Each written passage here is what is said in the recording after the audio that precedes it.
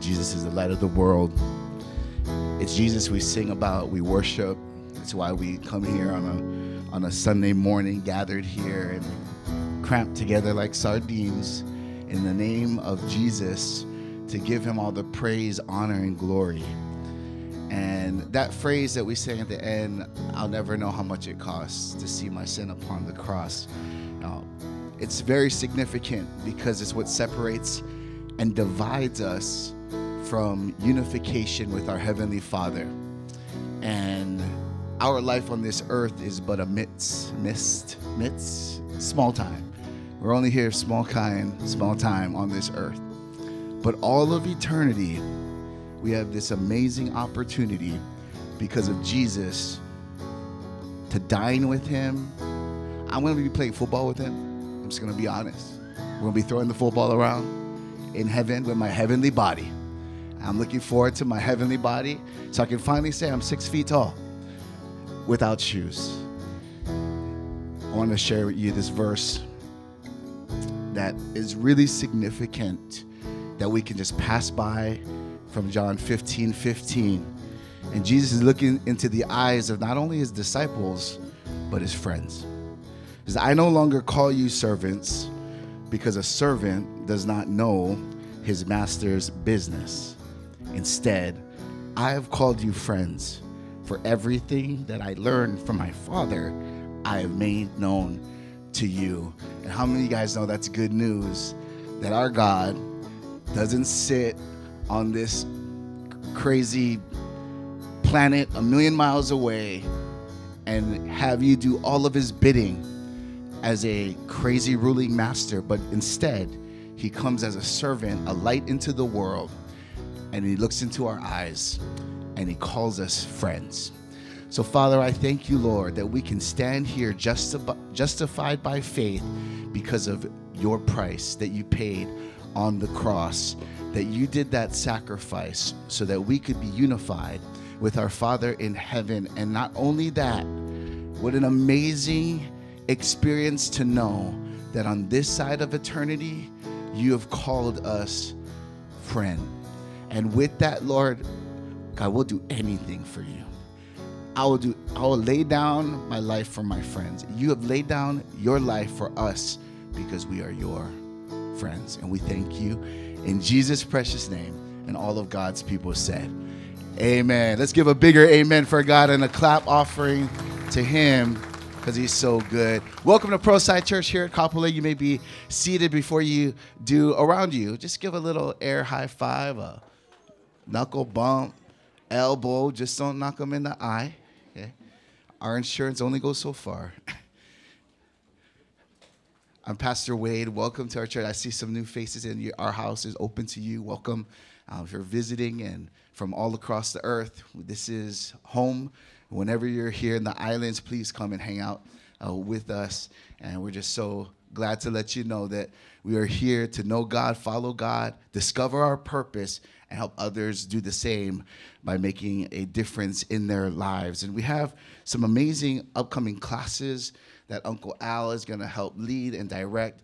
And if you need any information, okay, I say this a lot, we're trying to build up our social media game is maybe not the strongest next to some of those crazy big mega churches out there, but we're going to break the the 100 follower mark pretty soon.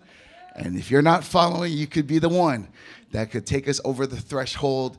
And on those uh, social media platforms, going to give you all the information that you need to know for what's moving forward as a church family. Can I pause for a second and give some shout outs to our U team last night? Um, they did an amazing job. Joash in the JB. Um, Jen and the team came together and not only did like see we could do games all night, we can do fun things and gather crowds, but the word was delivered. I know Devin brought a, a timely word. You're like, well, I thought Wade was gonna share. I thought Abu was gonna share. I was like, no, we building up the team. We got a stable of people and, and, and speakers that can build with this next generation. And this next generation as a teacher, I'm telling you, like they'll see right through you. They'll look right through you to see if you are the real stuff you're the real deal. And I know they're they're coming because our U team is doing an excellent job building them up. And I think there's about 60 people in the house yesterday outdoors. So outside in the house of God, but outside by the pool. And praise God, no one see. I think Stormy told me like, "Hey, how come we couldn't put our head underwater? We're just safety. We're just trying to be safe." And then, you know, the only time they let us put our head underwater is when we do baptisms. So you can get ready for that. But without any further ado, to give you the word this morning as we are experiencing godly friendships in our series, Relationship Revolution. Give it up for our long lost brother who hasn't been here in a minute. Uh, yeah, I'll do it. I'll say it. He's been traveling. He's been traveling. He's getting his son ready for football and for college. And it's like, you know, we gotta let go, man. We gotta let him go. Let him let him fly. We did last year, right? We let him go, and it's just we're trying to grab the chain, and they're he's trying to be a grown man. Levi back there. So without any further ado, give it up for Coach Abu Ma'afala. Which I like to point out that his amazing shirt that he's wearing, those things are ma'afalas, right? Correct, they are. There's a specific brand of ma'afala, like breadfruit, and you're rocking them. And the Lord told me to buy you that shirt. So enjoy. Well, thank you, Lord, for appointing Wade. Good morning, everybody. How are we doing? Oh, come on now. You guys are in my meeting room. You guys are my players right now. So put your feet flat on the ground, sit up straight, and this is a conversation that we're having, okay? We're good? Good morning, church. How are we doing? Thank you. Amen. Well, yes. Thank you for welcoming me back. I am your I am your long lost brother. I promised I wasn't being the prodigal son. Okay. So, uh, but before we get started, I just wanted to give you guys the crazy six weeks that uh, my wife and my, my family experienced. So, first picture, this is May 14th. There it is. So May 14th, right? I don't know if we're I don't know if we're geniuses or we're the biggest idiots in the world, but we decided to have our son's graduation party before graduation. All right, so it was a lot of planning, a lot of stress. Um, a lot of that went into that. So that was that week, and then a week and a half later, my son graduated. Woohoo! Proud moment, right? Mom and dad. He's, he's a legacy kid from Kamehameha. Um, he went off and and it's it was an amazing experience to be back in people meeting again and and being able to that that thing that he's wearing that blue thing it's called a kihei you give it to somebody that uh, you allow they're given the privilege to tie the kihei on them. And uh, surprisingly my son allowed me to tie his kihei even though i gave him a whole bunch of heaven when he was on campus for four years. Uh, it was it was a proud moment. Um, and then uh, right after that week the week later I had to go to a conference in Dallas, and so the family came up, and we were trying to fly standby on Southwest, but the flights were crazy. So we just decided to drive from Dallas, Texas, and we were heading to Illinois, uh, to Bourbonnais, Illinois, but we stopped in St. Louis, Missouri. And this was the first time we ever stopped, about a nine hour drive. It was fun. Uh, we got to see the St. Louis uh, Arch, and that was the greatest American invention that I've ever seen. There, I've, I've, I've been able to see many things across this country.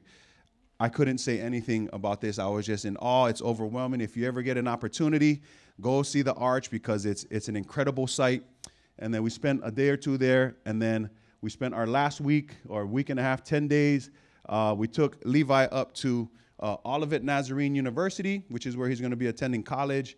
They had new student orientation, and they also have a uh, a mini camp, an athletic mini camp where he got to meet his coaches and and um, he he had fun. We checked him into the dorms, we sent him away, and Marlene and I went through the the five stages of grief every day. Um, because it was like I said, it's so Bourbonnais, Illinois is about an hour outside of Chicago, so it's in it's in farm town, right? Cornfields, all right, and so we were we we raised them in the Midwest. I'm like, ah, oh, this is gonna be nothing. And then we this time for some reason, whatever, I think it was just more of me not being able to let go. Um, we cried every day, all right, thinking about are we gonna leave this guy here? But I just wanted to recognize some special guests, Levi's new family that he's gonna be doing life with in uh, in Bourbonnais. We got um, Bob and Anita Harmon. and we have Beth and Mike Conway. So I want to tell you guys this now, all right? Those people have the Aloha spirit, right? They have the Aloha spirit because they have the Holy Spirit in them.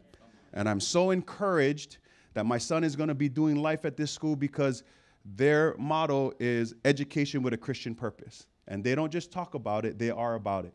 And so I was able to experience their new student orientation, uh, hearing them speak openly about God and how it's going to be a part of their daily life. And so, even me, as a dad, like I said, I never thought I was going to have these issues. Levi's ready to bust out of jail.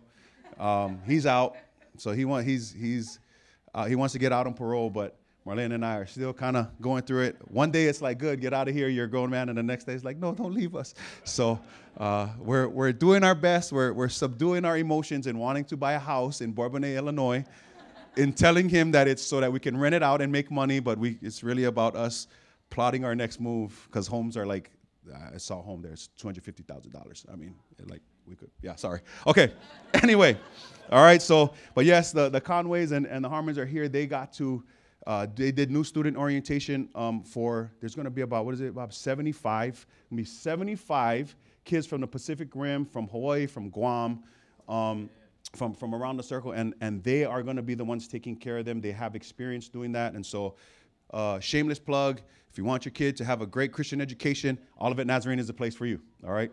Amen.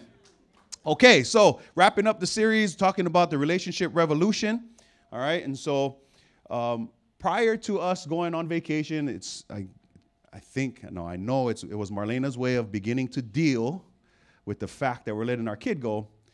She wanted to just purge everything in the house, right? And if you know my wife, she's not a purger. I'm not going to say she's a hoarder, but she is a collector of things. Okay? She collects everything. We still have in our garage in storage her textbooks from 2002 when she first went to college. Okay? She's never cracked them open since the semester that she took the class, but they're still in our possession, right?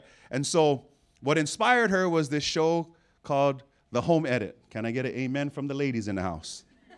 yeah, yeah, come on now, don't laugh. Can I get an amen from the ladies in the house, right? And if you don't know about The Home Edit, right, it's these two lovely ladies that started a business, and what they do is they come into your home and they will they will get it they will purge and do everything for it and make it look beautiful right? And so they have these four stages to the show in what they do. They edit they categorize they contain and they maintain all right? And so they have these really cool like little tips right? They give you okay when you have this space you have to get storage that's vertical so that you won't waste any of the space. I see, I learned something. I mean, I got forced into watching the show. I, am glad my wife was watching that instead of um, the ultimatum, right? I love you, babe. She's mad. But it was a, she's mad at me right now. It's okay.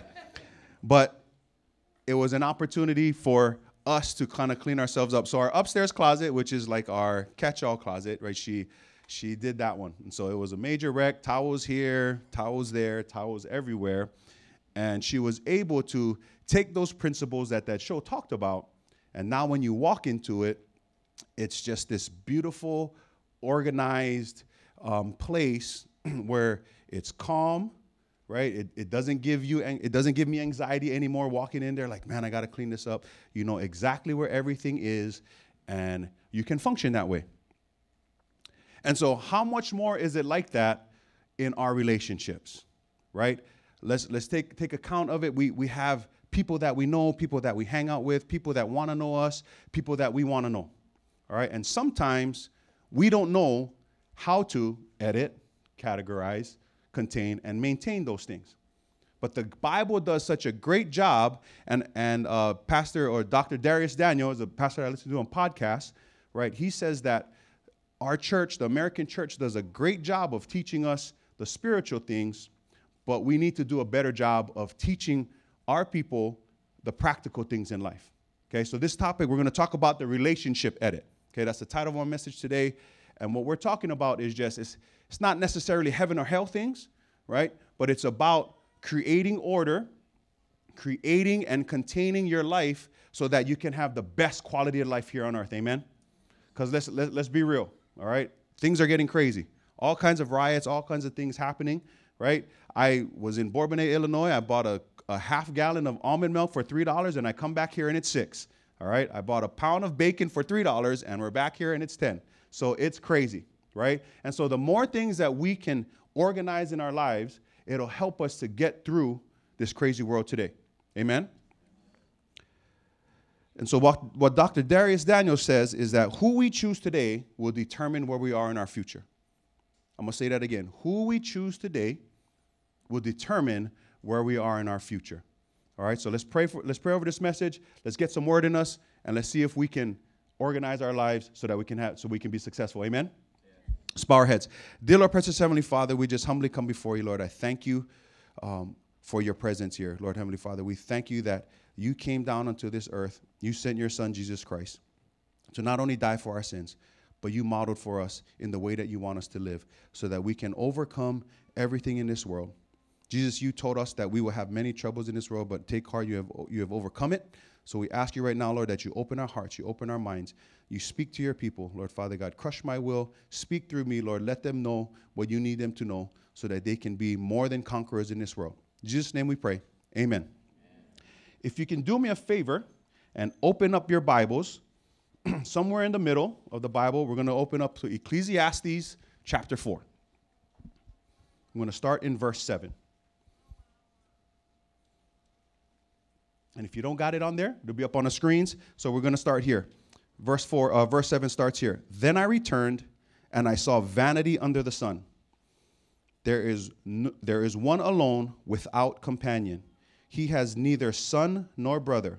Yet there is no end to all his labors, nor his eye satisfied with riches. But he never asks, For whom do I toil and deprive myself of good? This is this also is vanity and a grave misfortune. Pay attention here. Two are better than one because they have a good reward for their labor. For if they fall, one will lift up his companion. But woe to him who is alone when he falls, for he has no one to help him up. Again, if two lie down together, they will keep warm. But how can one be warm alone? Although uh, one may be overpowered by another, two, with, two can withstand him and a threefold cord is not quickly broken.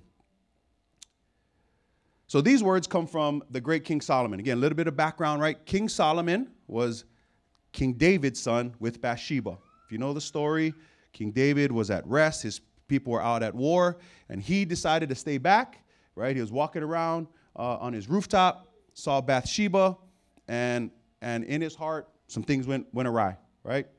Uh, he, cre- he made a baby with Bathsheba and then had, uh, had Bathsheba's husband killed, all right? And then the product of that was the kingdom. He, he lived a life of disturbance after all of that, right? He, he reconciled with God. He apologized. God, I'm sorry. But after that, because of the consequences of his sin, he had a tough life after.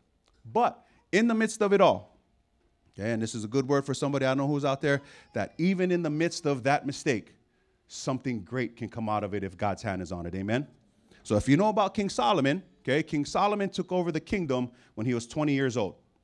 All right, and so the Lord appeared to him in a dream, and, and he said, Solomon, because of the faithfulness of your dad, okay, all of my kids in here listening, if you got faithful parents, you will be blessed.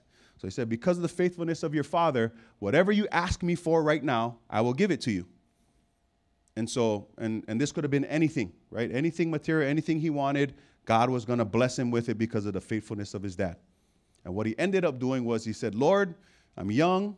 I don't know what the heck I'm doing. So if you could just give me wisdom to run this kingdom for you, the way that you want me to run it, I'll do that. So God said, Solomon, that was a great choice. Not only am I going to give you all the wisdom in the world, but then I'll give you everything after. All right, so he got blessed. So um, he is, the Bible says that he is the wisest man to ever live before, and there will never be anybody wiser than him. There's only one person wiser than him, and that's Jesus himself and God. All right? And so in the middle of the Bible, we have what we call the wisdom literature.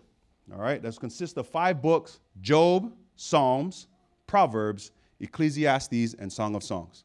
All right. So Psalms, if you go through the Psalms, a lot of the Psalms were written by King David. You kind of understand why Solomon was such a wise dude because when you read through Psalms and you see the heart of King David, you understand why God called him a man after his own heart, right? So he got to take all of that in from his pops. Proverbs, just like anything in any culture, and even in the other religions, they have wise sayings, and it's just a collection of wise sayings that Solomon had. That that um, historians say that he didn't just get from his dad; he collected from other wise sages that were around him at the time of his reign. Ecclesiastes, this book that we're, we're, we're in, is actually Solomon experiencing life. All right, so he had everything, right? He was the richest dude, smartest dude in the room. There was nobody smarter than him, right? One, one wise story was uh, two ladies were fighting over a baby. They both said it was their baby. All right, so he prayed to God, said, God, help me, help me with this. And so what he told the ladies was, cut the baby in half. You can take one baby, you can take one half, you take the other, right? One lady said, perfect, cut them in half. And then the other lady was like, no, no, no, no, no, no, don't and give the baby over to the other lady. And that's how Solomon actually knew that who the baby belonged to, right? You talk about wisdom, right? I don't think I would have came up with that. Uh, so you can see that he was, there was nobody smarter than him, right? And when you are that smart, all right, like my wife, it's, it can be difficult to be in rooms with people. No, I'm just kidding, babe. Only with me, only with me, all right? But because the, there's such a high level of thinking going on, right? It gets difficult. And so what ended up happening was he had everything, he had all the riches in the world, and he just said, I am going to test everything out. In Ecclesiastes, he says that I am going to test everything under the sun. Okay, there was nothing that he couldn't have, there was nothing that he couldn't do. He, ex- he, he went and experienced it all. And so in this book of Ecclesiastes, what he does is it's his summation of all of those experiences, right? He ate everything, he saw everything. I mean, even sinful things he, he indulged in. And what it all came back to was it's all meaningless, right? The only thing that matters is what you do with your hands for God, right? And part of it here in verse 4, he talks about us is that we were we need to create community. Amen. Okay, we need to be with we need other people in our lives. Back in the garden, right? God said that it's not good for man to be alone. Well, why would he say that?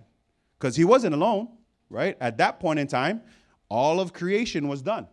The animals were there, and even God was with him, right? So God acknowledges that we need people. We need a relationship with people in order for us to take this book and act it out, right? And it's and it's a way for us to reprove ourselves, improve ourselves. If it's just us and God all the time, we don't have any way to gauge where we're at. Amen? But it's also important, especially in this world of social media and where we're at, that we, first of all, edit some people in our lives. And I know it's going to get kind of rough because we're going to have to come to, we're going to have to take account of who are who is in our lives, and we're going to have to go through those steps just like the home edit does. So the first one is we have to edit. All right? So I want to tell you what a friend is not in Proverbs chapter 6, it says this King Solomon tells us that a worthless person, a wicked man, walks with a perverse mouth. He winks with his eyes, he shuffles his feet, he points with his fingers. Perversity is in his heart, he devises evil continually, he sows discord. All right, and so these are the type of people, all right? It doesn't mean that we're not going to be in proximity of them all right? It just means that we're not going to let them into our lives. You understand? We have to make sure that we take evaluation of, of those people that are with us and we're not allowing them to speak into our lives. Talking about winking his eyes, right? He's going to say one thing in front of you and then do something else behind your back. Shuffles his feet. He's not really consistent in what you need him to do. Points his fingers. It's everybody else's fault but theirs perversity in his heart. There is he everything is backwards, right? The, everything that should be, he says everything that's right is left, right? He's, you tell him the sky is blue, he says it's purple. All right? Things are different than what he sees. And the most important one, friends, is he sows discord. Okay? Later on in those verses in chapter 6, sowing discord among people is something that God hates. So if you have people, and again, let's put the mirror in our faces if you are creating discord and you're creating division among people, we got to stop that. And we also cannot allow those people to be a part of our lives because then that's what then we're going to turn into them. You guys understand? Okay? So as we go through our mind and the people that are there, we just got to learn where to place them. Okay? And they might not be able to be in the very close proximity of our daily lives. Amen? All right. So, Dr. Dharius Daniels, again, in his book, uh, Relational Intelligence, I, I encourage you, if you're having issues with your friends, this is a great, easy read for you to understand how to create boundaries, how to create, um, how to bring the right people in, and how to push the right people away, and, and create the things that you need so that you can live God's uh, ultimate life for you. He says that there's four type of relationships. So I'm gonna tell you guys this right now. I know it's written down in there. All right. I always tell my players, make sure you got a pen and paper, take notes. We got our phone because I learned back in college when I was a donkey football player and all I cared about was playing football on Saturdays. They, they taught us that if you took notes, wrote it down, and reviewed it within the first 24 hours, you had like a 7 out of 10 chance of remembering everything you wrote down. All right? So, all of my students in here, make sure you don't walk into class like I did with nothing in your hand to sit down in the class. So, if you got a chance, take notes because this is important. Okay? Four types of relationships, the categories that we have to put people. Okay? The first one is our friends. Okay? Second one are our associates. Third one are our assignments. And the fourth are our advisors. And how we differentiate where they are all comes down to the amount of time and energy that you are going to invest in them. And on the other end, how are they reciprocating that energy back unto you? All right, so friends, associates, assignments, and advisors. So we're just quickly going to go through the five things that we need to put uh, to categorize our friends, right? To bring them, let them be closest to us. The first one is this number one, a developed character. If they are going to be your friend, we have to ensure that they have a developed character. And for us in here, that means that they are doing their best to develop their character through the Word of God. Amen? Okay? Because people can, can develop their character in all kinds of different ways. There's all kinds of self help books out there that people are using to, to create better lives. All right? But understand that all of those books, they end up being derived from this one. So if we can just pick it up, read it, again, the wisdom literature, reading Proverbs. If you read a proverb a day, I try to do that just to help me. I'm at the point where I know what it says. Now I got to go and act it. Amen. But here it says, Proverbs 13 He who walks with wise men will be wise, but the companion of fools will be destroyed. All right, so this doesn't mean that you're a fool. All right, this means that you can have the developed character. You can be in here every single day, every single Sunday with us. You're in group during the week. You're reading the word. All right, but the statement is true. You are guilty by association. And so, if you're putting in all this work and you are being hanging out with fools, you will ultimately be destroyed. So we want to make sure that those that we are letting into our lives, speaking into our lives, right? Those that we're willing to give of ourselves, that they have a developed godly character. They're developing it. All right. It's not going to, we're all sinners saved by grace. Every day is a new day for us to get better. Amen. Okay. So there's nobody that's better than, than, they, than they need to be, and there's nobody that's worse as long as they're going here, right? We say in football, it's never as bad as you think it is, all right? But it's also never as good as, as it could be, all right? And so, but as long as we are reading this word and we are choosing to walk around those who are wise, we will become wise, right? They're going to rub off on you. Then another verse here in First Corinthians, the Apostle Paul tells us, Do not be deceived. Evil company corrupts good habits. So let's not negate all of the good work that we're doing just because homie from back in the day is still around and we're allowing them to be very close to us. You understand? It doesn't mean that you got to cut them out. It just means that we got to put some time and distance between us and them so that we can protect ourselves. Because it says here that evil company will corrupt your good morals. All the good work that you're doing, all right, can be gone in an instant if we are not guarding ourselves. Amen? Second one is this, and I, and I believe that Pearlside does a great job of this, all right? And it's to have determined connection. A friend loves at all times, and a brother is born for adversity. Our groups, if you're not in a group, please get into one.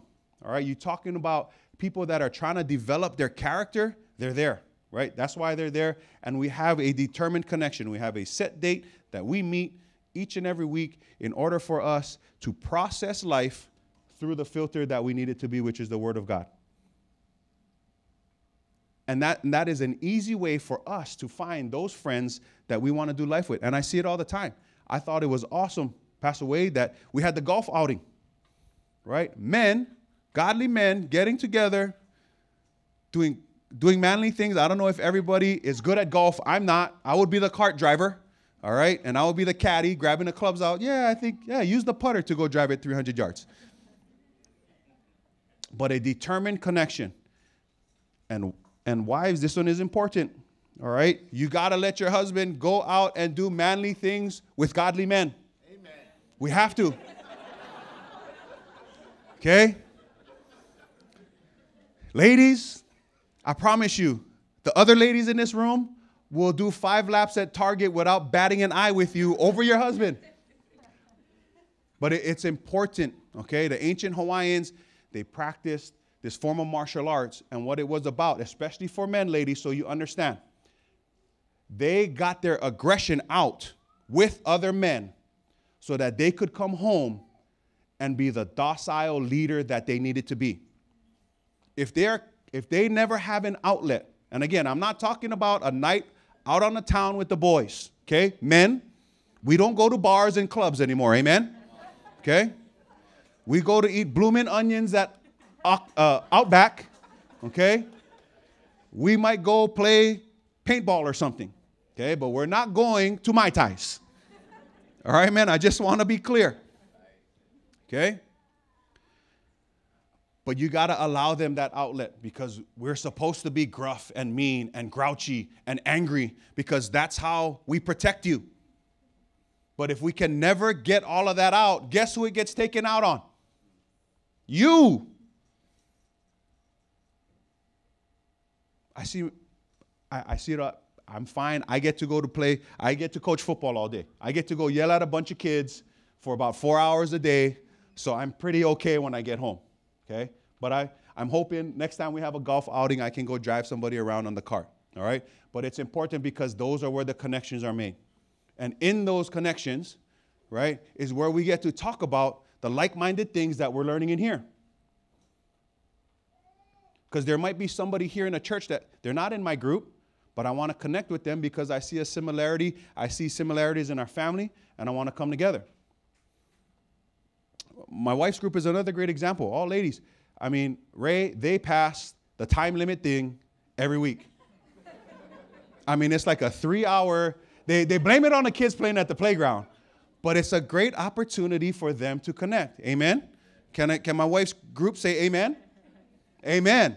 Okay? And I love it because they need it. And when I have conversations with my wife and the things that she's able and the uh, she's able to build with her group and the amount of trust that she's built with these ladies, it's like anything else.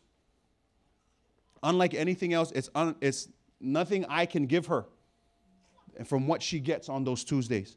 And in the text thread that they have during the week and the prayers and the things that they do. So that's why group is important, everybody in here. Sunday is not enough. Okay? If we're walking this thing out, it's a walk. It's not a run on Sunday and then chill for six days. All right? That sounds like my, uh, my workout schedule. All right? It's an everyday, consistent thing, and it's a determined connection because in this world, let's face it, it's easy for us not to connect. Okay? And when I'm talking about connecting, I'm talking about being with the brethren. All right? It, it is, yes, we have technology and it's great, but we cannot just say that, oh, I'm just to, I am to forfeit the opportunity to meet face to face because it's convenient, it's easy, right? It has to be a determined connection with a few people in order to create that, that desire to do life. Amen? Number three, and I'm working on this one, it's a disciplined candor. Open rebuke is better than love carefully concealed. Faithful are the wounds of a friend, but the kisses of an enemy are deceitful. All right, this is why we got to be connected and in relationship because we have to get to the point where we're able to speak the truth in love to each other. Because if anybody's not going to do it, who's going to do it? Okay, and again, sorry, my, my wife is going to chew me out. She, my wife says all the right things. She tells me all the things I need to hear, but I don't necessarily want to hear from my wife. Somebody else could tell me the same thing, and guess what? I come home and I say, "Oh, babe, you know, you know what they told me today." Amen, ladies. Amen. Right? Amen. Right? And I get caught with that. But that takes time to get built. Even I am not comfortable. Pastor Wade will tell you, all right, I'm a man of extremes. I'm either all the way passive or I'm all the way aggressive. So I'll let it go, let it go, let it go. And then you piss me off and irritate me enough. You come into my office and I start slamming my hand on the desk, telling you about yourself. That's not good either. Because that's not building love and trust with each other. I have to learn how to be able to have difficult conversations with people I love without exploding at them. And that's who I am. Okay? I'm so conditioned to just let it go. And then I come home and I and I complain to my wife, and then she gets pissed, and then and then and then I go and explode, and then I come home and tell her what happens, and then she gets mad again. Right? So this is an art, it's a skill. All right? But who better to do that stuff with? Again, with your friends. Because if you can practice it within your friend group, now, as we branch out into the associates and the assignments in your life, and even with the, the, the, advisors, all right, you'll learn that skill and you will, you'll have a successful life. In theory, okay? And again, this is a theory. You shouldn't have any troubles at work if you can develop this skill, all right, on your end, okay? They might have all the issues with them, but if you can develop this skill and have a disciplined candor and learn how to tell people the truth without being angry, this, this will take you a far way. Amen? Number four, dependable encouragement. Anxiety in the heart of man causes depression, but a good word makes it glad. I am currently using my football team as a model for this. All right? it, it is so um, important that you can develop this skill as well. Learning how to encourage somebody. All right? And what, and what I told our team the other day is in this world, because of social media and other factors, okay, we've become such an unsure people. We doubt ourselves. Everybody sitting here today, right, even though we make it look like we're all good, inside of our hearts, we, ha- we have anxiety. Amen? Are we lying? Right? My inst- I, I saw something. I was at I was at this conference, right? And they talked about influencers. And it's amazing that there's I, I didn't know this, Pastor Wade. Okay, there's influencers that will go uh, on big screens like this, pull up like a cool backdrop, right? Go go buy a seven dollar toilet seat, hold it up, take a picture, and make like they're traveling to like Bali or something. You know, there was there was they showed one where this girl was showing that she was on her fantabulous vacation she's taking all her pictures in IKEA. Like people are literally walking around the store and she's having a photo shoot in a bathtub in IKEA for the likes, right? But again, it's just a symptom of what's happening. It's the way the enemy's been able to get us to be all sure of each other, unsure of each other. Right? So we all have these anxieties in our heart that we don't know. And because we all catch ourselves looking at our phone, all right, we don't have the eyes to see that our buddy needs encouragement. Because sometimes the person to your left and to your right believes in you more than you believe in yourself. And we had, we had a, a player come and speak to our team that, that, that played uh, for one of our coaches at Moanalua High School. And he said that I went on chasing the dream because that guy believed in me. I didn't even believe that I could do it. But we've, we've become so conditioned because we see uh, facades of people's lives, we don't work on this and, and encourage people. We only encourage them when it's like DEF CON 5 and they are in the middle of the largest storm that they're in. But a true friend, a great friend, knows that they, there's dependable encouragement. That means they can lean on you. They don't even know that they need to lean on you. You're willing to encourage them. Amen. Because it makes their heart glad. We, you know, when, when you receive what, what people are telling you, and again, I'm the type of person, it's hard for me to receive people telling me and encouraging me. It's not. Because the, the, the voice in my own head, the devil, right, is playing with my brain and telling me, don't listen to them. They don't know what they're talking about. But dependable, if we can keep it going and you're speaking godly encouragement into somebody's life, guess what? You can push the enemy out and you can walk the way God has called you to walk. Amen. Last one, uh, praise and worship team, if you want to come up here. Our last point is the deepest love. Okay, so we found, we developed the character, we, we, we created determined connection, disciplined candor, we're encouraging them. The last one is this, is we create the deepest love for our friends. Jesus told his disciples in John chapter 15, Greater love has no one than this, than to lay down one's life for his friends. He then goes on to say in verse 15, No longer do I call you servants, for a servant does not know what his master is doing. But I have called you friends, for all things that I heard from my Father I have made known to you. And what can we what can we glean from this? In verse 15, it's a picture of what a friend should be to you. I have called you friends because I have told you all things my Father has told me, meaning that you are willing to open up your heart to this person and tell them the deep things. Right? When we talk about what God was telling Jesus, it was the deepest things ever. And so understand that if the few people in your life, and there's only should be a few, okay, outside of your spouse who are your friends, that you are willing to speak the deepest and the deepest and darkest things to and that you can trust them and that you are willing to let them in. Because no greater love than this, folks, that you lay down your life. What does that mean? Is that I'm willing to put their needs above mine in situations. That no matter how I'm feeling, no matter what I'm going through, I am willing to put them above me. I am willing to lay down whatever I need to do for myself to push them over the top. And that's what Jesus did. He had thousands of disciples. He sent out 70. He only called 12 his friend. While he was willing to lay down his life, and he did, he gave up his life, his physical life, right? There's only 12 of them that he let them in because he could trust them. And so, as I was going through this message, it was less about me going through who are the people in my life and where I got to put them. And it was more about am I exemplifying these things to people? And I'm going to tell you right now, I'm not.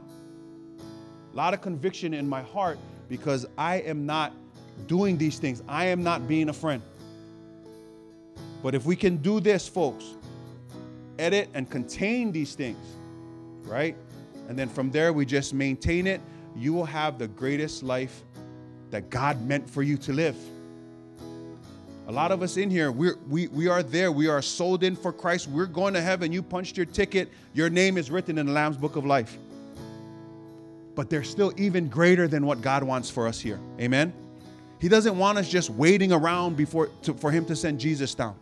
He wants us, again, to be the example to the world that when we follow the things that He calls us to do, that life is even better beyond anybody could ever imagine.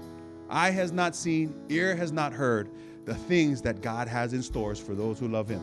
Amen. Let's get up and let's praise and worship.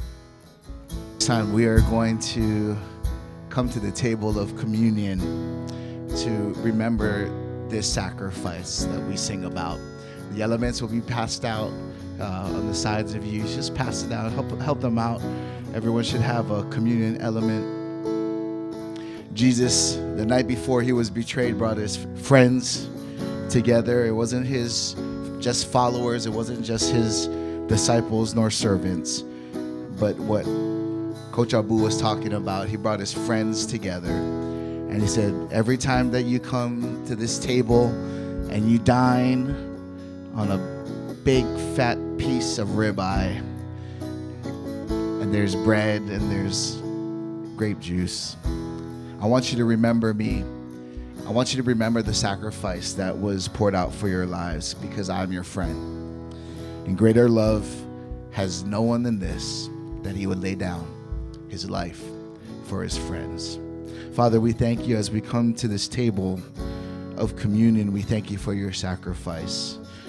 And even our minds that are so finite, we can't understand the depth in which your sacrifice means to our salvation. But we receive it, Lord.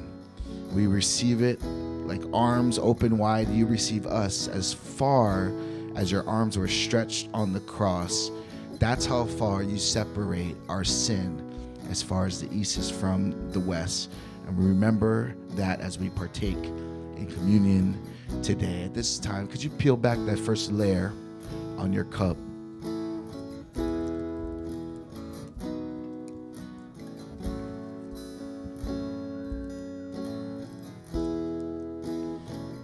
Father, this is a piece of bread that symbolizes and represents your body broken for us. And that we know that you took a punishment so that we didn't have to, and that reconciled our lives and for our generations to come because of your broken body on the cross. God, we thank you so much for what you did.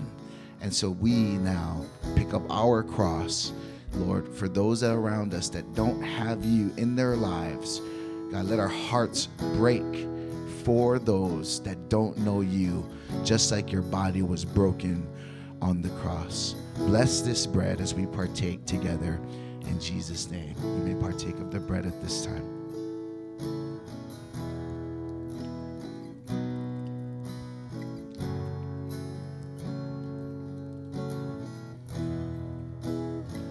Please peel back the second layer.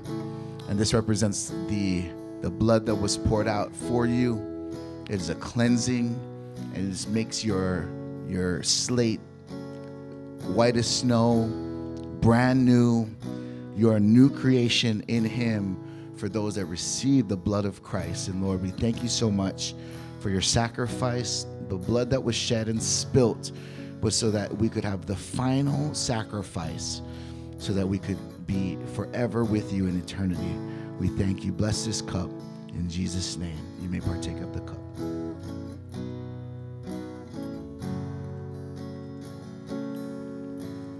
Lord, I want to pray a special blessing over our church family right now. We thank you, Lord, that you have inspired us, Father, to understand what true godly relationships look like and how we can walk them out. Father, even right now, give us your strength and your heart as a friend so that we can befriend, befriend those around us to draw them closer and closer to you. God, we thank you so much. We love you and we honor you in Jesus' precious name. And all of God's people said, Amen and amen. Let's give God a wonderful clap. You may be seated at this time.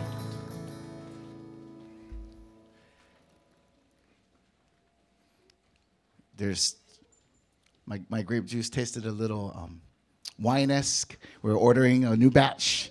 Um, don't worry, the ex- expiration date is still good. It's fine wine, man. It needs to be aged. And so I just looked, double checked, make sure the bread was not moldy and it was good. So I just wanted to thank you. We haven't done communion in a very hot minute.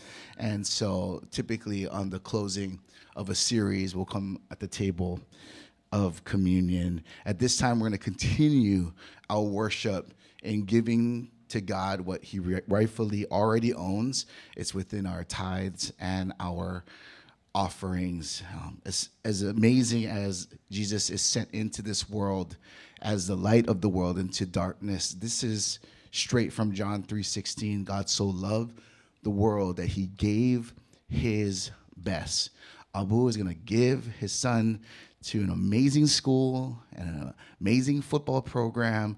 But Levi's going to come back and he's going to be part of his, you know, growing up in his life. When God looked into heaven and said, What is it going to take to rectify, to reconcile this planet that is forever going to be separated from me because I love my children? God said, I got to give my absolute best. And I always say this He didn't choose some random angel that had like underdeveloped wings and said, okay, I'm going to send this weak sauce angel and it looks good, but it, I'm not going to go ahead and give you my best. No, God said, I have to give you my best. I have to give you my son. And he sowed his son into this earth so that we could have eternity for with God for all of eternity. And so when we give, let's give God our best. Let's not give God our leftovers and look into the the crumbs. And I know that gas eats better than me right now. I'm telling you, I feel it too. I'm looking at the pump. I was like, I've never bought food like that. My truck is eating way better than me. And but I know that God provides. And I know that through seasons of famine and season of affluence that we could walk blessed and we can walk uh, knowing that all of our needs will be provided for when we give to God what he rightfully deserves first. We give them our best first. Father, we thank you so much that you've sowed into this world your son. You sowed into this world your best. And so the return of that is the reconciliation of men and women throughout history that choose to honor and follow you. So, with that same heart, as we look at our finances, Father, in the season that we're living in, where everyone is preaching gloom and doom and inflation, we know that you are in control. And we are not going to be bounded by what the world tells us and be afraid to let go of what you rightfully own already. We give it to you freely. As our hands are released, we're able to steward what you want to pour out in our lives. In Jesus' precious name. Amen. Can you receive that this morning? I really want to encourage you. Like, I know that it's going to be a tough season ahead. I, as a visionary, I kind of look at trends and see what we're about to walk through. And I know that there's some practical things, you talk about practical things that we can walk through with you. And that's why we have classes that help you steward your money and help you steward your finances for times like we are walking in right now. Amen. I challenge, and we do challenge our sons because they're good at making friends. They're good at they're good at making friends. They're good at getting them into their circles. What they're challenged with is inviting them to church and getting to like church is a big part of their lives. And we'll invite this one kid. His name is Maka. He's like 30 pounds, and he's in ninth, going to be in ninth grade, and he's trying out for our team, and it's like a health risk. I know, but he has the heart of a lion, and he has like that heart of David. That he's like, I'm not scared one lick to go in front of guys that are five times my size. And uh, we went training um, on a hill. We did some hill workouts on Saturday, not because dad wanted or coach wanted. They initiated this thing. I'm, gonna, I'm gonna take you to and, and, work out on the hill. And I brought my cleats too, and I was running on the hill. And uh, I said, Zio, you gotta, gotta invite this kid to our youth. Our, it's like the easiest invite that you could possibly do. There's free food, and there's gonna be um, an amazing message and there's going to be the pool, but God is going to meet him and God is going to do something and mark his life. And I was so blessed that Maka came to our youth outreach last night because he not only became a friend, he made a, he made a friend, you want to be a friend, and then we want to invite a friend into our circles. And not just okay you are gonna compartmentalize you and you're my buddy here. We just do surfing or we just do blank. At some point we as christians need to look into their lives and know that their eternity is hinged upon their decision on this earth to follow jesus. And we might be the only bridge that they are ever given and so, whatever you need to do to refresh and reset our mindsets, to build that bridge and to make that friendship, we got to do that. Amen. So, already start marking that thing like in your mind, that person in your mind, like, man, I'm such, a, this person is amazing and they know this part of me. And then I want you to take that next step and start bringing them around. Where do we bring them? It's like, I don't know if they are going to be able to take all of this. Well, come Monday night Monday night was this amazing gym night. It's in Pearl City, and we just have fun and they can meet people. And then we have other types of activities, small groups throughout the week where you can invite a friend into our setting because the body of church, Christ, is you. It's not the building. So invite them into your lives, get them here. We're going to see God do an amazing work in and through your lives for the people he wants to reach. Amen. Let's all rise up to our feet, stand up strong, flat feet on the ground, Coach Abu said. My voice is like this because I'm like screaming at kids too. Like I have like the younger team on our program, and it's amazing to invest into their lives. But I want to empower you today to be that blessing in someone else's life uh, go throughout this week looking on the hunt, like a linebacker's trying to get a quarterback, like a, a receiver's trying to get to the end zone. Be relentless in trying to find that one person that you can love into the kingdom of God. Amen. On the count of three, we'll say our King's name that is above all names. The power and the blessing is in the name of Jesus. Jesus on three, Jesus on me. One, two, three. Jesus. Amen. Have a blessed rest of your day. God bless. Ahuiho. Malamapono.